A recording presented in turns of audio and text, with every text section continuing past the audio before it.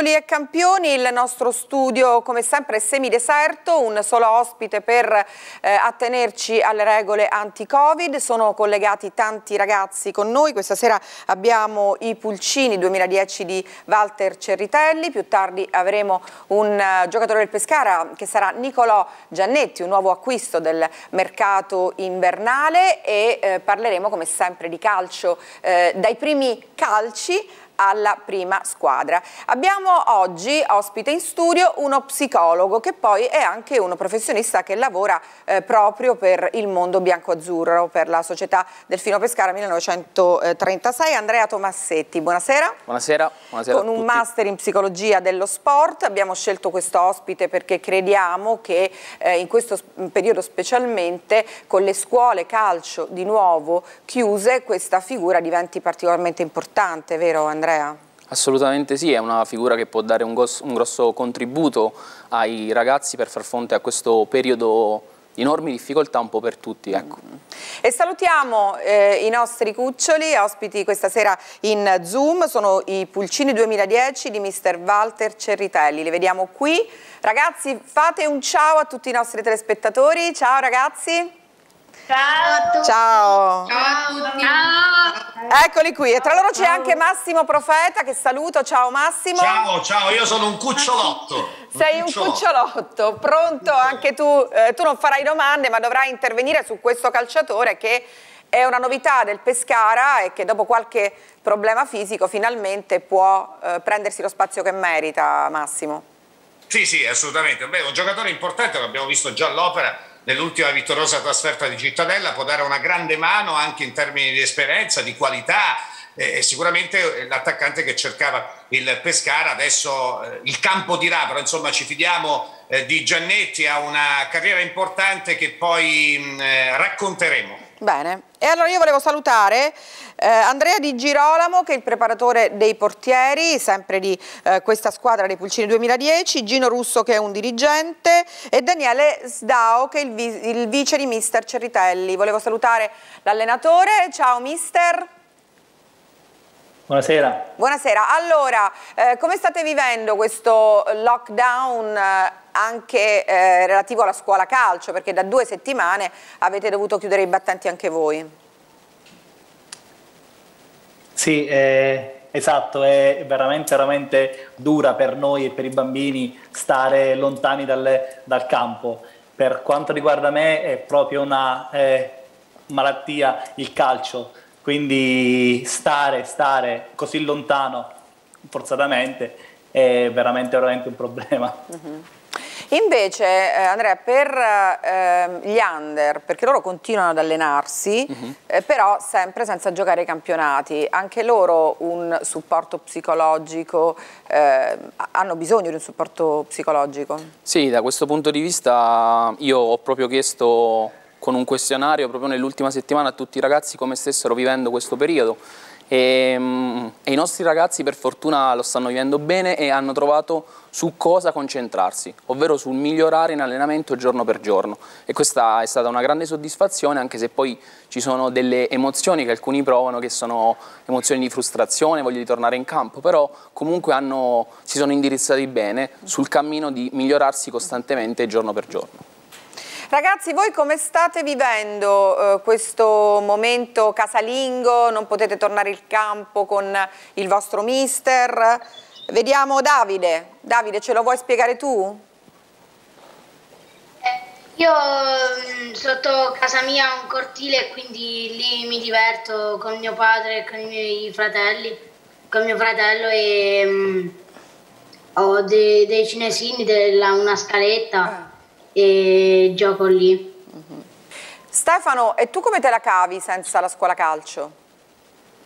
Beh, io mi trovo un po' annoiato eh, perché mi manca il campo, eh, incontrare i miei amici, il mio mister e il contatto col pallone. Ecco, questa parola che ha detto eh, Stefano, annoiato, la noia prolungata per un bambino in un periodo come questo, che cosa può significare? È sicuramente un'emozione che mh, deve far scattare qualcosa, ecco. non deve essere vista come un'emozione per forza negativa, però ci deve dare quella molla in più per cercare di focalizzarci su che cosa è per noi importante. Quindi io gli consiglio di trovare qualcosa che può effettivamente fare in questo periodo e farlo con tutte le sue forze e tutte le sue passioni. Ecco. Eh, Massimo, eh, trovare le motivazioni in un momento in cui chi si allena non gioca, i più piccoli non possono neanche allenarsi, eh, è un problema comune a tante società, non solo eh, al Pescara. Ehm, secondo te ci possono essere poi degli effetti alla lunga di questa situazione? Non so, ragazzi che smettono di giocare? Sì, mm, secondo me sì, ci può stare. È chiaro che poi la passione secondo me è determinante. Eh, però ci può stare un discorso del genere, anche perché nel, nella vita dei ragazzi di oggi, Mila, ci sono tantissime distrazioni. Cioè non è come per esempio ai miei tempi, no? c'era solo il calcio e poco altro. Adesso i ragazzi possono fare tante cose, i bambini la stessa cosa, quindi eh, ci può essere una controindicazione del genere e, e, e non è facile, cioè è una, è, secondo me è una, è una cosa anche delicata. Però se c'è la passione, secondo me si possono superare questi momenti di stasi, diciamo così. Ecco Andrea, e la società, eh, quindi i, gli allenatori, eh, comunque i collaboratori, cosa devono fare per ehm, evitare che i ragazzi possano avere questa tentazione di lasciare lo sport? Di devono sollecitarli il più possibile e poi per quanto riguarda in campo utilizzare sempre una comunicazione propositiva che metta sempre in risalto gli aspetti positivi del gioco e quindi evitare le punizioni. Una punizione può essere anche un tono di voce eh, negativo, ecco, che loro lo eh, interiorizzano molto e magari vengono esposti a questo fenomeno del drop out. E noi adesso andiamo a vedere come lavorano i Pulcini 2010 perché eh, Luca eh, Teseo si è mosso in anticipo ed è andato a trovarli qualche giorno prima di questo nuovo lockdown sportivo. Vediamo. Allora che ti faccio fare? Dai, fatevi... Vabbè, le prego il volete. Andrea, perdonami il cognome? Di Girolamo. Andrea Di Girolamo alle prese con i ragazzi 2010 in un ruolo importante perché esatto. tanti ragazzi sognano di fare gol oppure di emulare i loro eh, campioni in difesa piuttosto che in attacco ma il portiere è un ruolo molto esatto, esatto, particolare. Esatto, sì, è un ruolo veramente importante è un ruolo di grande responsabilità. E il bambino sin da questa giovane età deve apprendere appunto questa responsabilità che ha Senti, al contrario di eh, quello che avviene per un altro ruolo, eh, quello del portiere lo si decide già a questa età oppure eh, magari più avanti, oppure si prova? Allora guarda, molti bambini lo provano per curiosità, per curiosità e poi piano piano piano piano si cominciano ad appassionare a questo bellissimo ruolo. Ecco, quali sono le difficoltà nell'allenarli e quali sono le cose belle? Allora, allora, le, difficoltà le, se ci sono. Le difficoltà, sì, vabbè, le difficoltà sono le stesse difficoltà che hanno anche gli altri bambini, insomma, nell'apprendere tutti quelli che sono i, i movimenti. Ecco, la, la, cosa bella è che il bambino deve gestire il pallone con il tuffo, con, scusami, con le mani, piuttosto che gestirla appunto con i piedi, come fanno gli altri ragazzi anche loro hanno i loro miti e spesso magari ti raccontano di parate che hanno visto in televisione. Guarda, sì, sì, tanto, tanto, tanto, tanto, ma la, la, la cosa bella è che mi raccontano sempre delle loro belle parate che fanno sempre quando non c'è il mister. quando non c'è il mister sono tutti bravi, però insomma sì, sì, è vero. Benissimo. Dopo l'intervista ad Andrea Di Girolamo al mister Cerritelli, una domanda a Gino Russo, eh, dirigente, quindi c'è questo eh, clima così spensierato ma anche serio di lavoro nella vostra squadra? Certo, il mister Walter è molto bravo a, a far divertire i bambini ma allo stesso tempo farli lavorare sodo e i miglioramenti si vedono nel corso del tempo. Conferma anche eh, Daniele Sdao che è il vice allenatore? Sì, sì, è vero, ci impegniamo sempre tanto per farli divertire e migliorare. Uh. -huh. E adesso come siete in contatto con loro a distanza? Eh, ogni tanto organizziamo delle videochiamate quando possiamo, quando siamo liberi dal lavoro e cerchiamo di tenerci compagnia così. Sentiamo adesso Christian che ha una domanda per il nostro psicologo. Sì, buonasera. Alla nostra età è utile rivolgersi ad uno psicologo, vista anche la situazione particolare? Allora, dipende tutto da come si sta vivendo questa, questo momento così difficile. Diciamo se ognuno di voi ha la forza dentro di eh, affrontare in questo, questo periodo in maniera propositiva, può farne a meno, però una chiacchierata può essere sempre utile, anche perché parliamo di psicologia sportiva, quindi anche eh, strettamente correlata al mondo del calcio, quindi perché no, ecco. Eh, volevo Grazie. fare... Grazie a te Cristiano, volevo fare una domanda a Massimo, saltiamo un attimo in prima squadra, molte società si avvalgono dello psicologo, il Pescara questo non l'ha mai fatto, perché secondo te?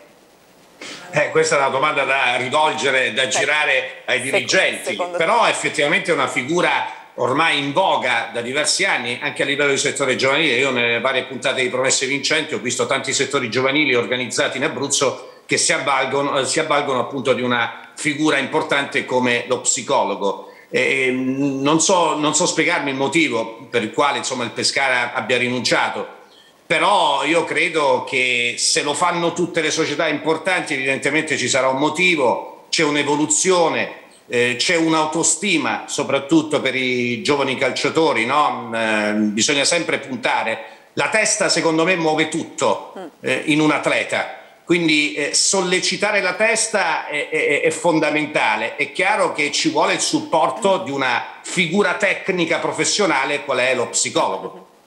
Andrea Tomassetti, che cosa può cambiare, che cosa può migliorare con uno psicologo in prima squadra? Sì, sicuramente il lavoro che si fa in prima squadra è completamente diverso rispetto a quello che si fa in un settore giovanile, dove si fa più formazione, si aiuta proprio il ragazzo a crescere anche dal punto di vista umano. In prima squadra ci si focalizza sulla prestazione, quindi la preparazione mentale ad una partita, ad un incontro e quindi ci, si lavora proprio su tutti gli obiettivi di essere eh, più, il più pronti possibile ad una gara dal punto di vista mentale.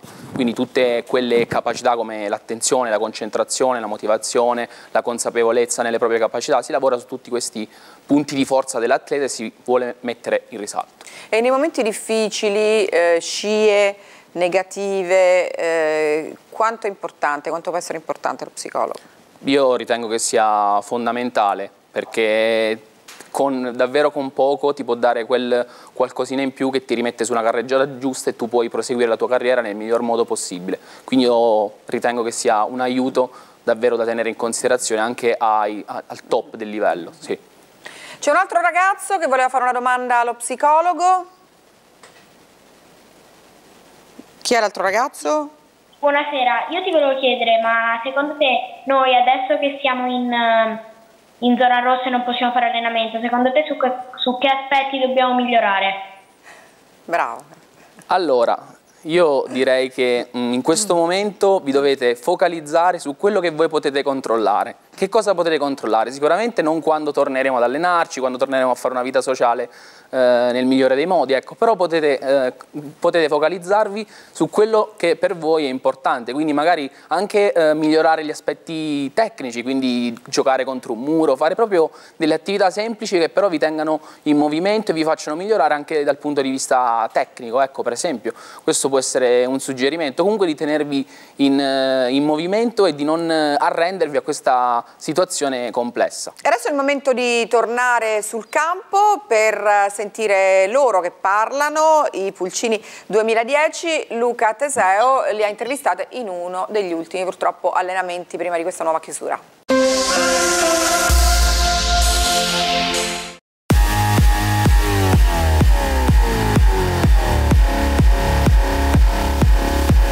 Io mi chiamo Angelo Mastronuzzi, gioco al Pescara da quest'anno. Mi chiamo Vittorio Di Cerchio, ho 10 anni e gioco al Pescara da 6 anni, anche se tecnicamente sono 3 anni che ci gioco perché prima ero andato con una squadra, poi sono andato al Pescara 2 anni, poi sono andato con un'altra squadra e ora sono ritornato.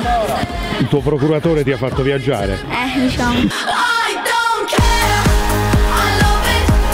quando hai indossato per la prima volta la maglia del Pescara che sensazione hai avuto? Un'emozione grandissima perché comunque la squadra del cuore che ho tifato già da piccolo è stata un'emozione grandissima e è stato uno dei ricordi più belli della mia vita. Senti, tu sei un portiere. Sì. Come mai si decide a questa età di fare il portiere? Perché allora, io, quando, io, io, sto in questo ruolo da quando giocavo alla Gladius perché in poche parole quando um, giocavo mi piaceva sempre volare, divertirmi, usare le mani quindi ho visto, ho visto, questo ruolo. Mi piaceva molto anche perché mi piace diciamo, salvare la squadra ed è un'innovazione forte che continuerà. Allora sei un altruista? Sì. Tanta confidenza e eh, ci vogliamo bene, ci aiutiamo e quando c'è difficoltà eh, cerchiamo sempre di darci una mano uno con l'altro. L'allenamento di un giovane portiere in cosa consiste? Il giovane portiere diciamo sulle raccolte, rasoterra, a incastro, presa, rasoterra, deviazione, perché comunque si deve imparare a cercare di gestire la palla e cercare di migliorarsi per cercare di non, far go di non farsi fare gol dagli avversari. Senti, a questa età si provano tanti ruoli, tu li hai provati un po' tutti oppure hai già deciso un domani voglio no, essere... Ne ho provati due, l'attaccante e il centrocampista, eh, però credo che per il futuro non so quale ruolo fare. L'hai mai conosciuto Vincenzo Fiorillo? Allora, ho visto qualche partita del Pescara, però non l'ho mai conosciuto. Quindi ci vorresti fare due chiacchiere? Sì. Allora, se potessi dirgli qualcosa, diglielo, visto che lui guarda la trasmissione. Vorrei dire che sei un grande e spero che continuerai così e resterai per sempre nel Pescara.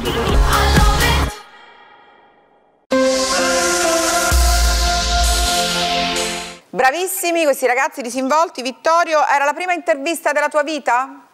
Sì, per me è stata la mia prima intervista per la Pescara Calcio in tutti gli anni e le, mi sono sentito più che emozionato, mi sono sentito libero perché comunque è una squadra a cui io tifo, quindi non ho avuto timidezza, paura nel parlare perché comunque so che è la squadra che tifo, quindi è la scuola del mio cuore, quindi non ho paura di parlare. Ma è, è una risposta bellissima, vero? Mi sono sentito libero. Molto, davvero bella, davvero bellissima risposta. Invece per ehm, Angelo non era la prima volta, vero, davanti a una telecamera? No, non è stata la prima volta. In questa squadra sì, è stata la prima, ma io sono anche, l'ho anche fatto in un'altra squadra.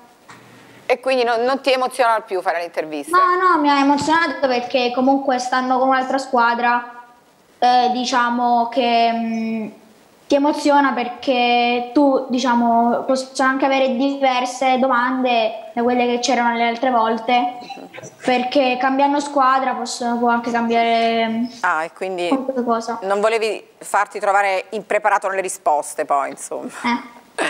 Bravissimo anche tu. Sono così disinvolti, vediamo se riusciamo a farli parlare anche della prima squadra. Allora, eh, Vittorio, tu segui il Pescara?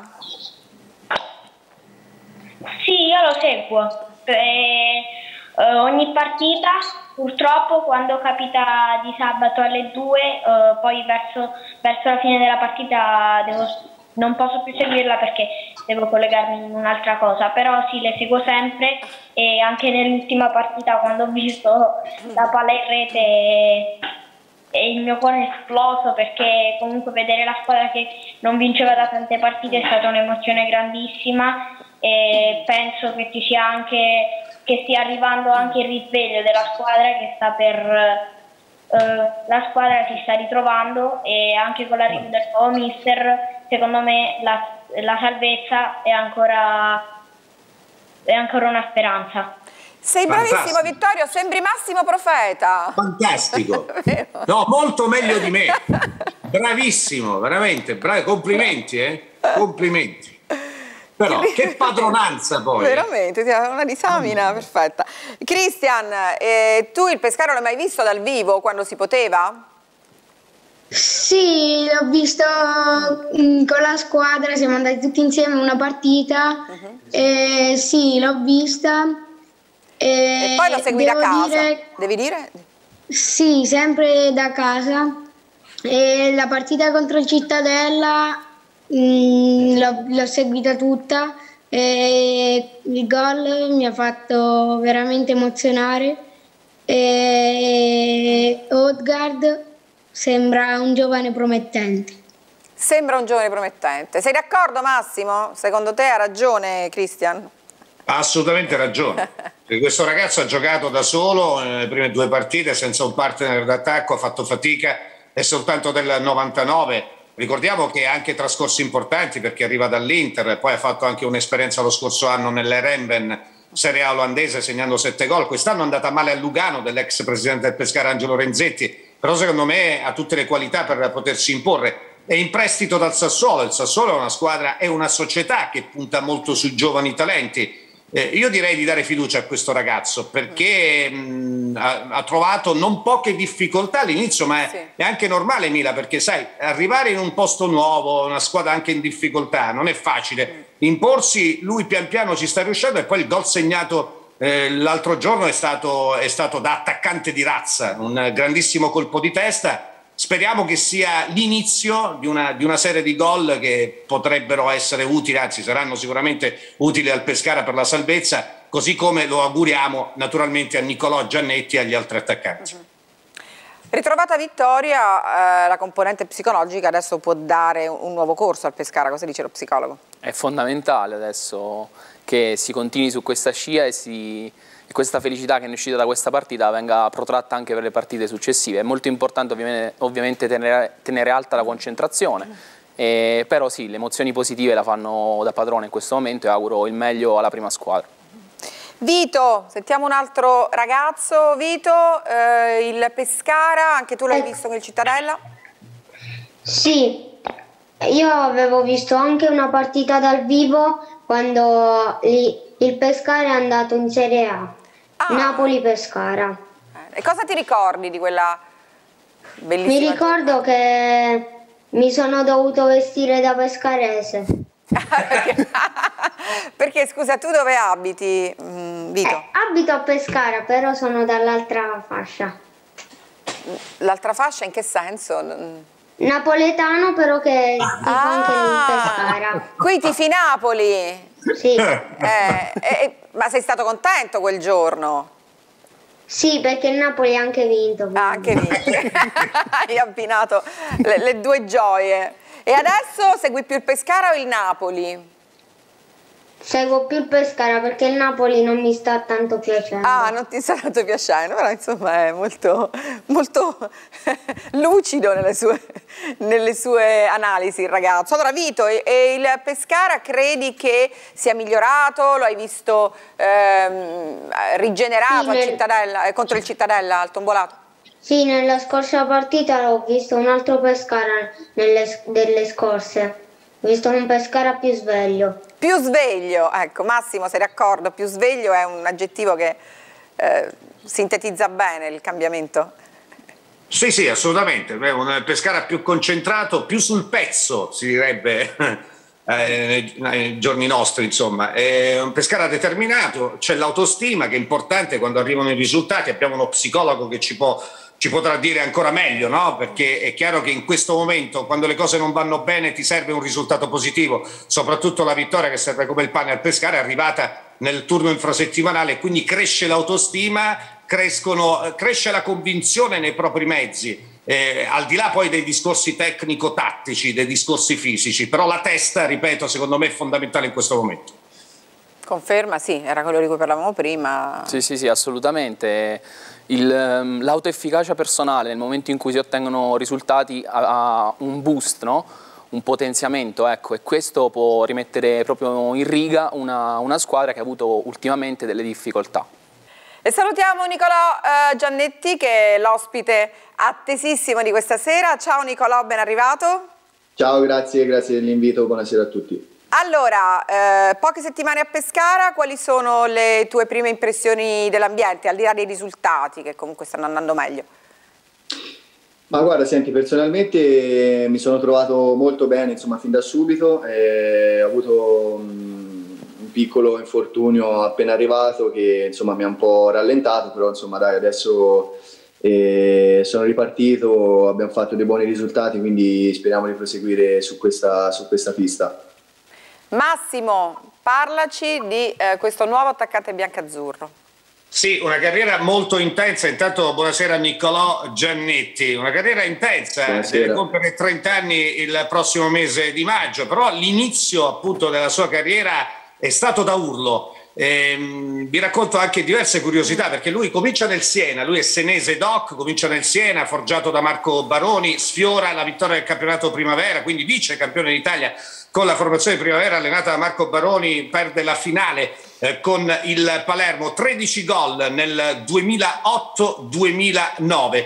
Eh, qui giocava qualche volta anche da punta esterna perché lui ha fatto un po' tutti e tre i ruoli eh, del reparto offensivo, mm, anche punta esterna come dicevo nel trio completato da Forestieri e Larrondo. Nel 2009-2010 migliora il suo score, 15 eh, gol in campionato, parliamo sempre del campionato primavera, più due nel eh, trofeo di Viareggio, ma la curiosità è questa, mm, a Torino contro la Juve mette a segno una tripletta, finirà 3 a 3 gli altri tre gol di un altro giocatore che qui conosciamo molto bene, attaccante della nazionale, mm. Ciro Immobile. E insomma, evidentemente quella partita ha lasciato il segno. In quella partita ha lasciato il segno perché l'anno successivo, nel 2010-2011, viene acquistato dalla Juventus. La Juventus allenata da Gigi Del Neri e malgrado la giovane età Gigi Del, Neri, Gigi Del Neri perché lui poi tra l'altro si dividerà tra primavera e prima squadra lo convoca in prima squadra esordirà in Europa League novembre mm. appunto 2010 contro il Salisburgo.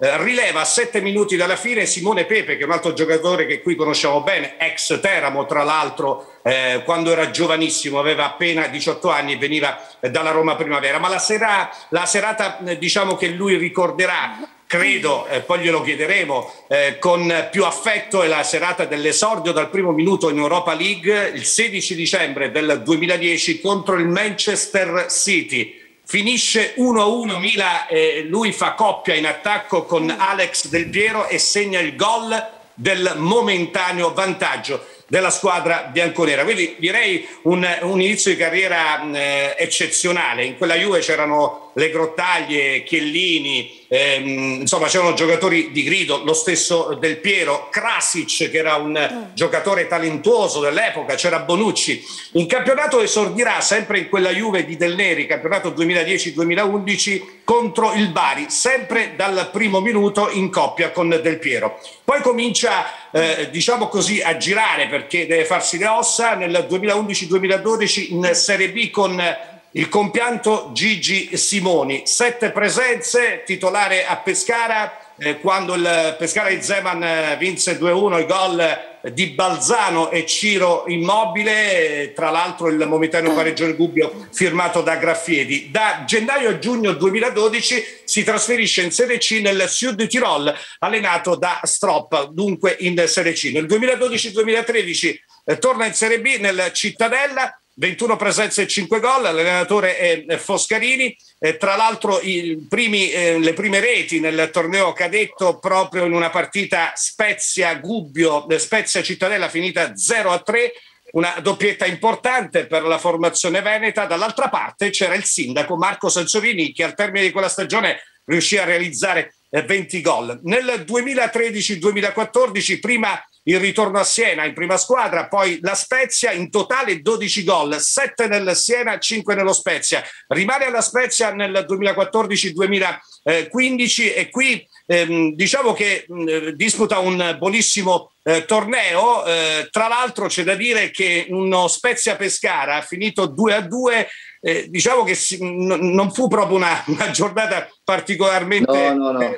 Propizia per Niccolò Giannetti perché si fece espellere, ricordo benissimo quella partita, l'allenatore di quello Spezia era Bielizza, c'erano tanti talenti croati, ricordo per esempio a parte il portiere argentino Cicizzola, Brezovec, c'era Catellani che è italianissimo naturalmente, c'era anche Scitum, c'era Stevanovic che firmò l'autore, firmò il gol del 2-2 ehm, definitivo. A fine campionato realizza sei gol. Nel 2015-2016 va a Cagliari, questa è una stagione molto importante, il Cagliari grandi firme di Massimo eh, Rastelli, insomma in quel Cagliari c'erano giocatori che noi conosciamo, gli ex biancazzurri eh, Capuano, Melchiorri e Salamon, c'erano eh, naturalmente anche Balzano e Dessena che ritroverà eh, Melchiorri anche eh, a Pescara. Giannetti realizza nove gol, un contributo importante in chiave promozione. Resta in Serie A, prima, parti- prima parte della stagione successiva, 11 presenze. Da gennaio a giugno di nuovo alla Spezia, 10 eh, eh, presenze, un solo gol,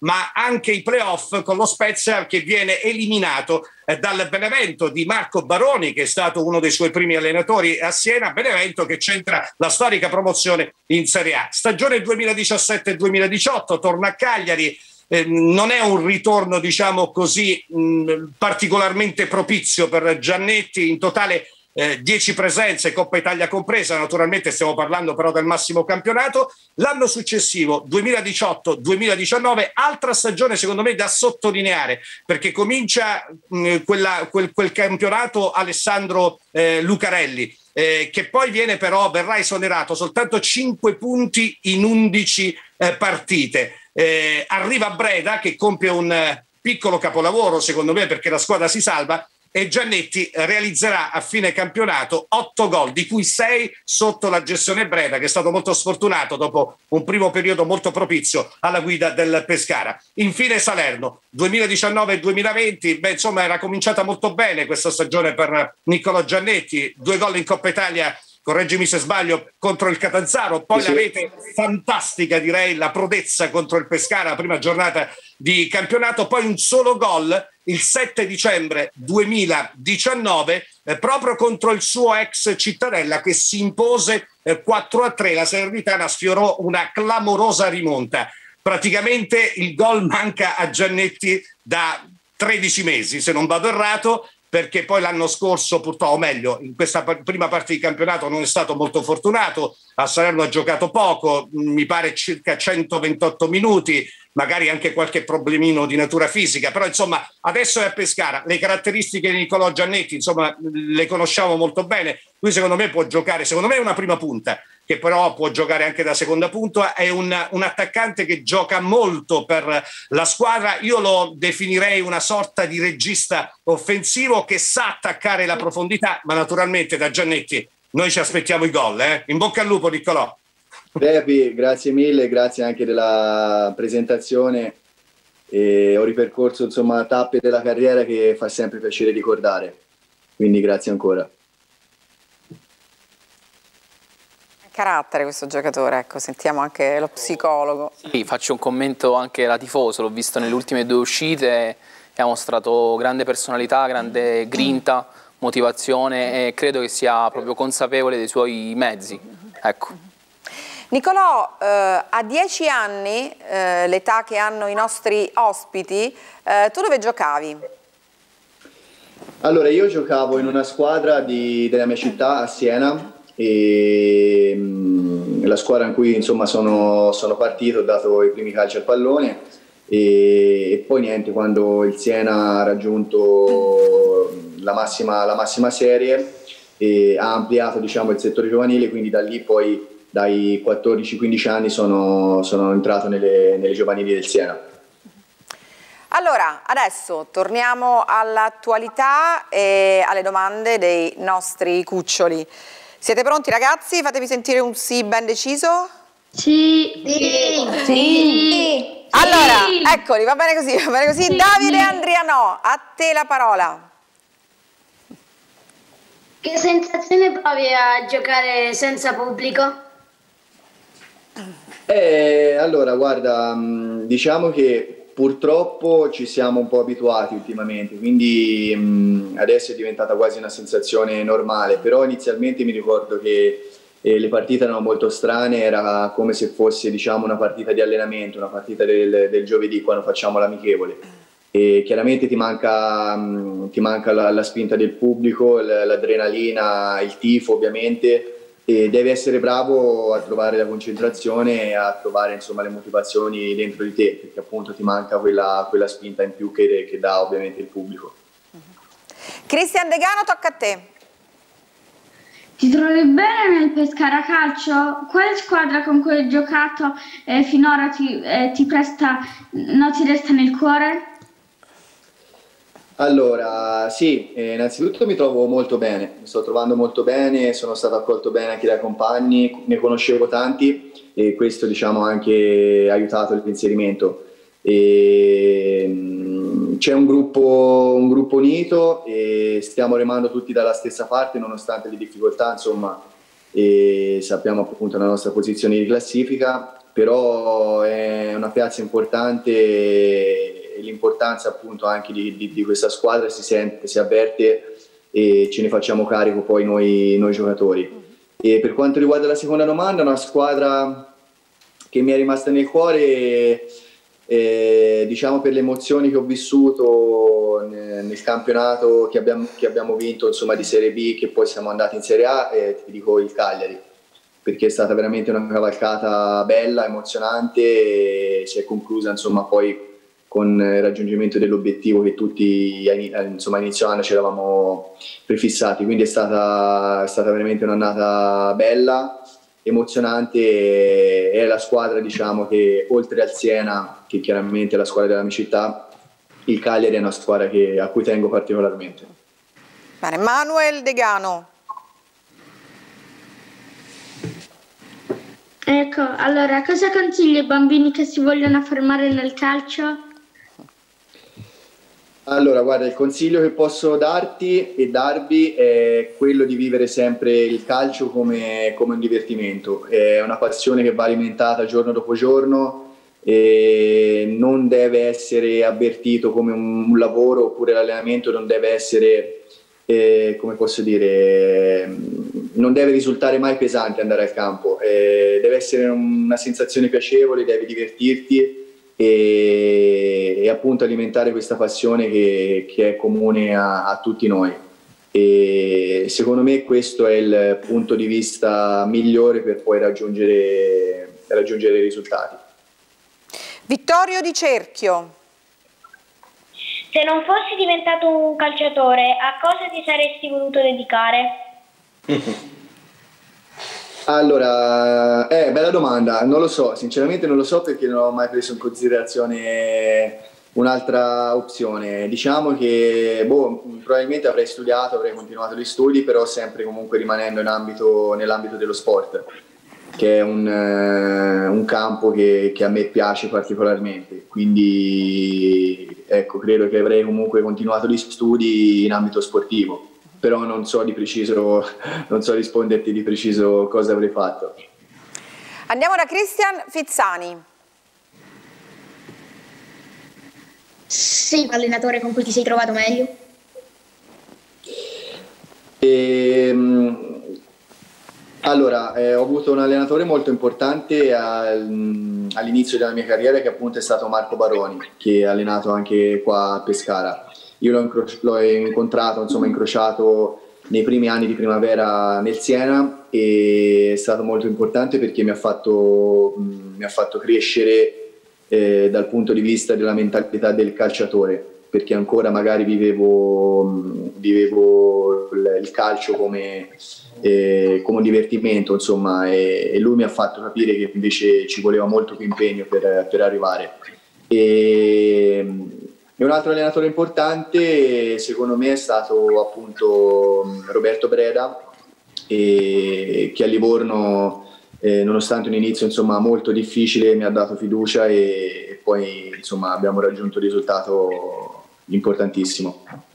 Che cosa hai provato poi nel vedere di nuovo il tuo percorso separarsi da quello di Breda? Qui a Pescara? Ma guarda, purtroppo il calcio è così, quindi ci siamo, tra virgolette, purtroppo ci siamo abituati perché sappiamo che quando i risultati vanno male il primo a pagare l'allenatore. E ho avuto purtroppo solo pochi giorni per relazionarmi con lui, anche a causa del mio insomma, piccolo infortunio, quindi E mi è dispiaciuto molto non, non aver insomma, potuto dare un contributo poi oggettivo a, alla causa del pescare innanzitutto e poi anche, anche a lui che comunque penso avesse, avesse, messo una buona parola ecco, anche con, con, il presidente e direttore per, per, farmi venire qua. Massimo, lo credi anche tu che ci sia stata la buona parola del, dell'ex mister? Ma credo proprio di sì, perché insomma eh, si sono conosciuti a Livorno, a Livorno ha fatto molto bene Giannetti. Ehm, dopo qualche anno magari non proprio entusiasmante, cioè voglio dire a Livorno ha ritrovato anche un certo feeling col gol, ha ritrovato autostima, quindi evidentemente Breda è stato molto importante per lui e quindi credo che ci sia anche un bel legame tra loro. E Breda, a mio avviso, ma proprio velocemente, dopo un exploit iniziale con 12 punti in 8 partite, un, un punto e mezzo di media partita, poi purtroppo, come ha detto Niccolò, i risultati determinano sempre la sorte, il destino di un allenatore, però ecco, dal 4 gennaio in poi, cioè da quell'ultima, penultima vittoria in campionato a Reggio Emilia, lì c'è stato un crollo per me ancora inspiegabile. Edoardo Forgione. Allora, chi è il tuo idolo calcistico? Il mio idolo calcistico di sempre è Hernan Crespo, ex attaccante di Inter, Parma, Lazio, non so se lo conoscete, voi siete troppo giovani, eh, adesso fa l'allenatore, però era, era un attaccante che che a me piaceva molto perché oltre ad essere veramente un, un rapace in area di rigore, un bomber vero e proprio, abbinava anche tanta, tanta qualità, quindi era un attaccante che appunto a me piaceva molto. Ok, un'altra domanda, qual è stato il gol che ti ha dato più emozione? Guarda, il gol che, che mi ha dato più emozione forse... Mh, è stato, anzi sicuramente è stato quello con la Juve al, ehm, in Europa League contro il Manchester City. E ero ragazzino, quindi fare gol in un palcoscenico così importante tra i grandi è, è stata un'emozione che eh, veramente ho fatto fatica a realizzare per, per alcuni giorni. Ok, grazie. Alessandro Prego. Giansante. Allora ti volevo chiedere che cosa ti appassiona di questo sport? Ma è tutto, eh, mi appassiona tutto. Io sono sempre stato uno che ha guardato mille partite al giorno proprio perché ho la passione, ho la passione del calcio, mi piace guardarlo, mi piace giocare, mi piace andare a allenarmi, mi piace tutto. A parte il ritiro estivo che che veramente è pesante, dove per due settimane ci alleniamo mattina e pomeriggio tutti i giorni e ci tengono anche a dieta. E poi per il resto veramente amo tutto di questo sport e, e ripeto, come ho detto prima, è, una passione che va alimentata e non deve essere, non deve essere mai vista come, come un sacrificio troppo grosso da fare. Sentiamo lo psicologo, che cosa appassiona del calcio? Parlo dei ragazzi che iniziano a praticare questo sport. Ma innanzitutto Oggi. il divertimento nel gioco stesso, penso che questa sia la prima motivazione per cui un ragazzo inizia a giocare a calcio. Poi ci sono tutte quelle dinamiche di gruppo come il confrontarsi con i propri pari, l'elemento della sfida, di superare se stessi, eh, superare l'avversario, quindi ci sono tante dinamiche che il calcio porta proprio come aspetti positivi anche nella vita stessa. Stefano, Stefano Giordano. Gli è sempre piaciuto giocare a calcio? È un suo sogno da quando era piccolo? Sì, sì, sì, assolutamente. È sempre piaciuto e non ho mai provato altri sport eh, da piccolo, ho sempre fatto solo, solo, cioè ho iniziato col calcio e sono sempre andato avanti con, con questo sport. E andiamo a Filippo Natale. Ecco, eh, ti volevo chiedere, eh, siccome io sono un grande tifoso del, della Juve, ehm, com'era giocare nella Juve? Era, mm, guarda, era molto emozionante perché poi io comunque mi sono approcciato a loro che ero ancora un ragazzo, un ragazzo della primavera, quindi e avevo quasi timore a presentarmi al campo con, eh, con, tutti quei campioni che fino al giorno prima magari avevo visto solo, solo in tv. E quindi mi ricordo che veramente raccoglievo ogni singolo consiglio, ogni, cercavo di rubare eh, tutto quello che vedevo in allenamento e, per poi insomma eh, metterlo nel mio bagaglio personale perché veramente era, era un'opportunità pazzesca allenarsi con, con quei campioni e, e, insomma ecco lo auguro, lo auguro a tutti soprattutto a chi appunto è tifoso di, di poter avvicinarsi insomma a, a quelli che, che reputiamo idoli fin da bambini. Senti Nicolò, ti posso fare però una curiosità, ma è stata determinante sì. quella tripletta che ho ricordato prima, eh, scorrendo la tua carriera, segnata a Torino nel campionato primavera, Juve-Siena 3-3, per il tuo passaggio alla Juve? Sinceramente non lo so, eh, penso abbia influito, però ha influito anche il fatto che eh, a Siena fosse andato Antonio Conte come allenatore ah, e ecco. si fosse portato dietro Immobile e Marrone, che erano due ragazzi insomma, eh, che lui aveva conosciuto appunto alla Juve e quindi c'era stato uno scambio di prestiti tra le due società in cui eravamo finiti da parte del, del Siena, io, eh, Spinazzola e Marcel Buchel che adesso è attualmente sì. a, all'Ascoli. E, e, mentre la Juve appunto aveva prestato al Siena Immobile e Marrone che, che insomma le, il Siena mh, militava nel, nel campionato di Serie B Vabbè, però la Juve ha pescato bene. Eh? non è che... Sì, sì, la Juve, la Juve, ha pescato bene, soprattutto con Spinazzola che poi appunto ah. ha dato grandi soddisfazioni, ma anche il Siena ha pescato bene. Eh. e torniamo ai ragazzi. Luca Russo, la tua domanda. Ti volevo chiedere, in tutta la tua carriera calcistica, hai mai pensato di cambiare ruolo? Bella domanda, no, eh, no, cambiare ruolo no, diciamo che crescendo mi sono adattato eh, a tutti i ruoli diciamo, del, del, reparto offensivo, insomma dell'attacco.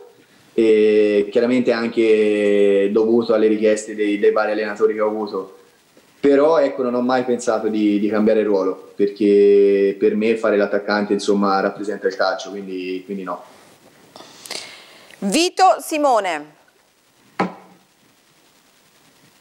Uh, uh, con quale squadra ti è piaciuto più giocare e poi quando tu non giocavi titolare, che sensazione avevi? Eh, eh, sensazione di quando non giochi titolare è brutta perché è come se ti privassero del, del piacere appunto di giocare e di, di poter svolgere il tuo lavoro. E, però chiaramente sei consapevole che sei a disposizione dell'allenatore, della squadra, siamo in tanti, ne giocano 11, quindi eh, devi insomma solo stare tranquillo e pensare a allenarti bene e che poi insomma il tuo momento arriverà, se non è oggi sarà domani. E per quanto riguarda la prima domanda invece eh, ti rispondo che indossare la maglia della propria città, ovvero di Siena, è stato un grandissimo, un grandissimo onore e, e, anche una bella emozione. Cristian Terreri. Eh, eh, credi nella salvezza del Pescara? E cosa occorre per raggiungerla?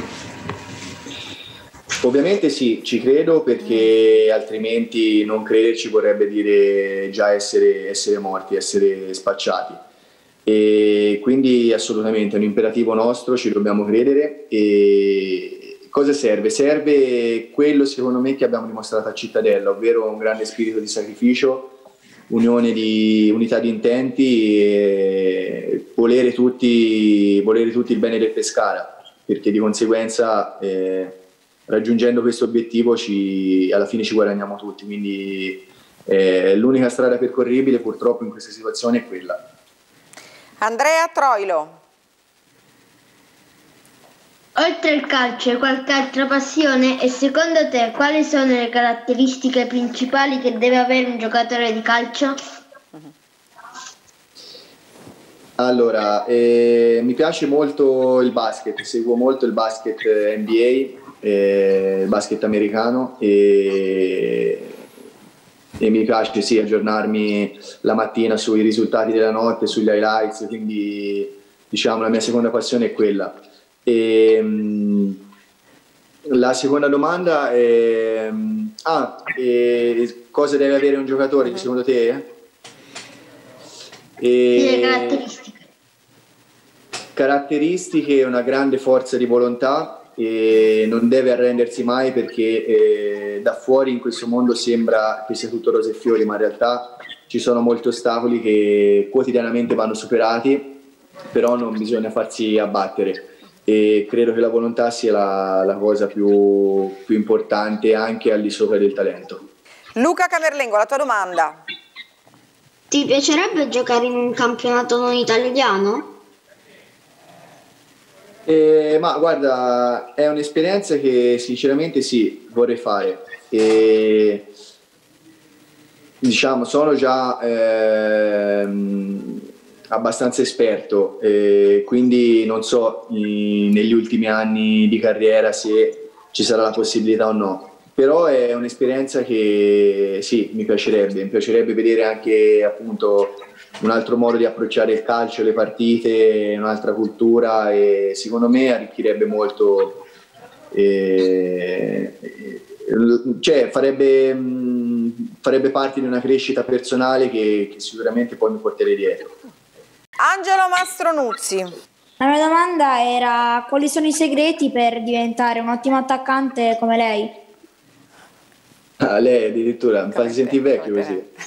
E, ehm, ma i segreti ehm, non lo so. Mm, e, sinceramente viene tutto un po', un po', naturale, poi chiaramente appunto come dicevo prima, prima allenandomi magari con giocatori più esperti e calciatori forti riesci a rubare con l'occhio determinati movimenti il tempo per attaccare lo spazio, per attaccare la porta.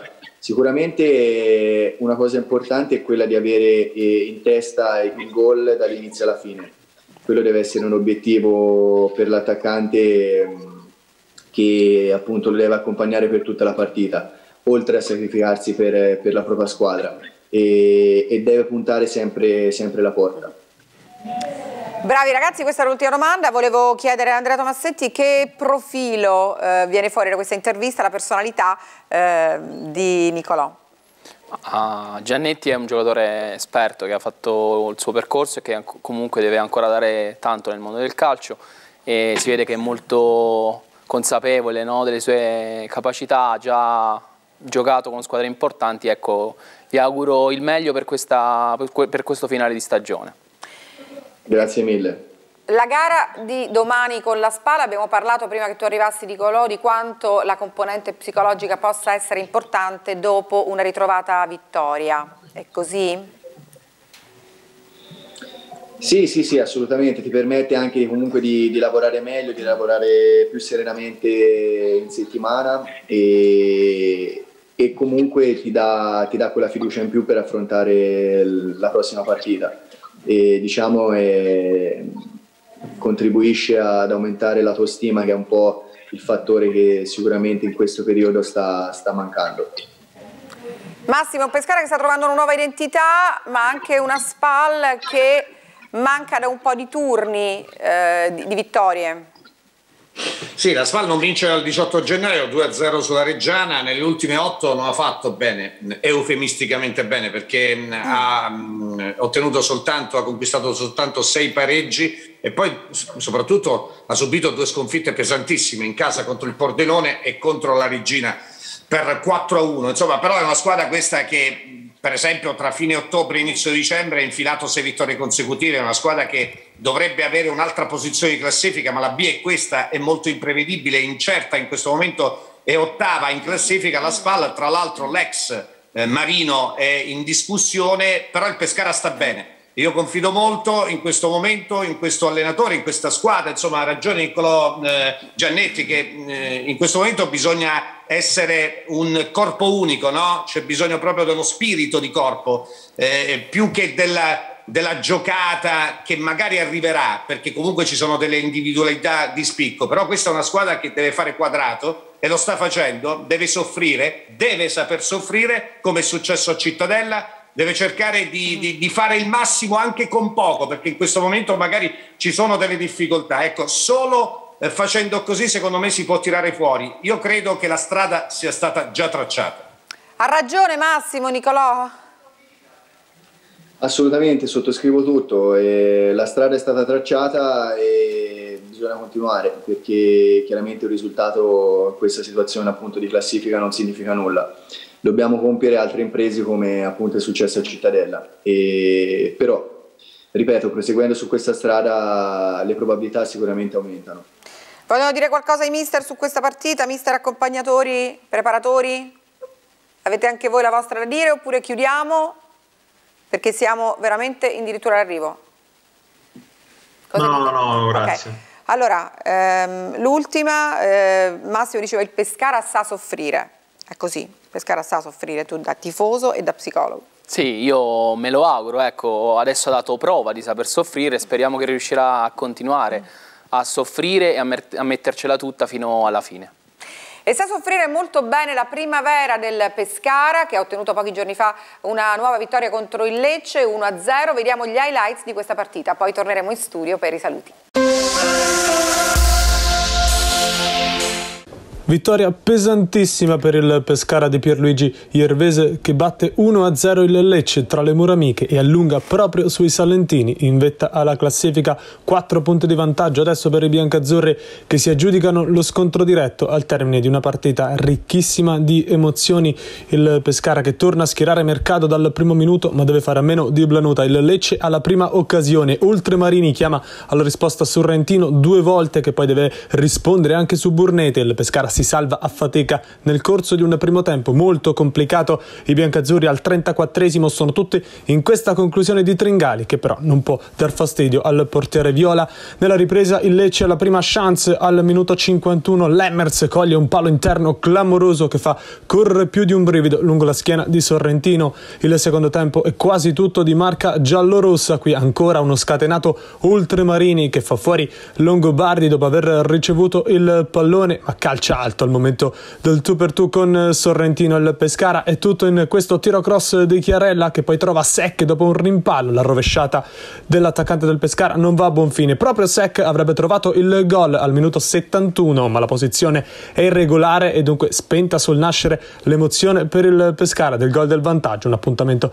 che verrà solo rimandato. Ci prova anche Veroli e la prima chance del secondo tempo di un certo rilievo per il Pescara. Qui trova ancora la risposta di Viola il 6 bianco biancazzurro. Minuto chiave del match, 81, contatto di Ye Ortisi, proprio il neoentrato, va a terra, il contatto sembra netto, calcio di rigore per il Lecce, ma la conclusione sbatte sulla base del palo, momento chiave, il Lecce subisce un duro colpo, poi i giallorossi andrebbero anche vicino al gol sul seguito dell'azione, ma il Pescara ha un ultimo sussulto decisivo, calcio di punizione di Tringali, l'otto del Pescara pesca il jolly e regala l'emozione più grande alla formazione di Iervesi con una traiettoria che davvero non lascia scampo a Viola, la gioia poi dei biancazzurri che si portano a più 4 da Lecce. Sabato prossimo appuntamento a Benevento.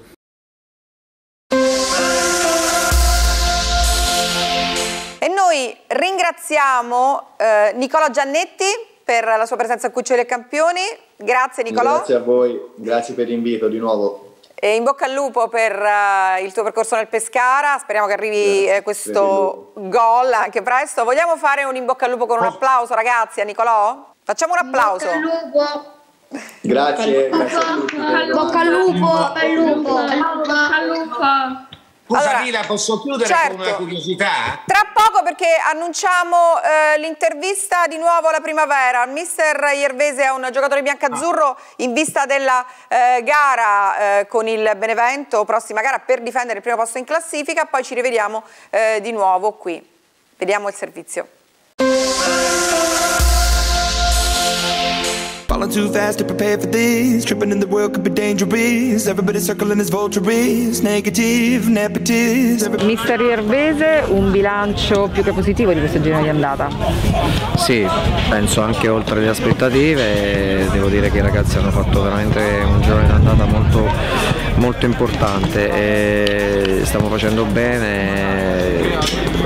Sabato abbiamo battuto anche il Lecce che penso che sia una squadra non dico la più forte ma una delle, una delle, più forti e devo dire che abbiamo chiuso il girone d'andata molto bene, adesso dobbiamo pensare al ritorno perché mancano tante partite e quindi partiamo subito col Benevento e ci prepariamo bene e cerchiamo di fare un'altra prestazione buona.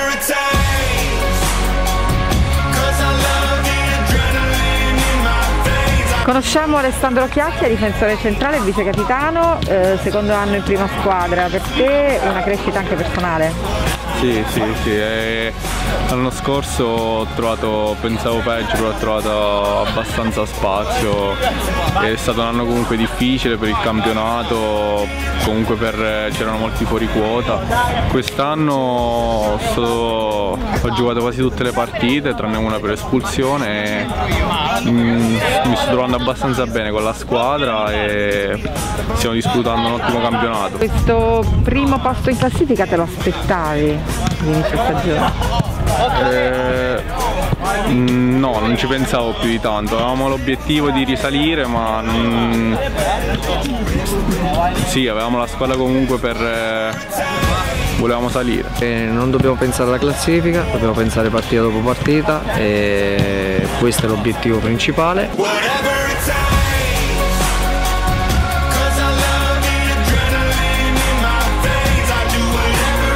Ci deve essere tensione assolutamente, soltanto la, cercare di migliorarsi e soprattutto pensare ecco, una partita alla volta. Sabato pensiamo al Benevento e poi penseremo a tutte le altre anche perché il girone eh, si è concluso il girone di andata quindi mancano tante di quelle partite che non possiamo fare né calcoli né assolutamente pensare alla classifica.